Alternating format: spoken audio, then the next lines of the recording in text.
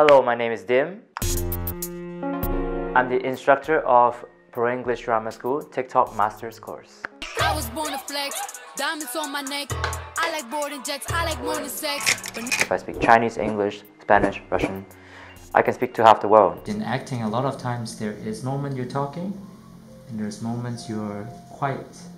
But I heard a lot of people tell me that my superpower is to, I'm like so positive.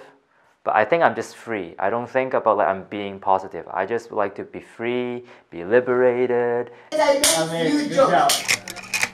I welcome you to our TikTok master class. Ah, there we go.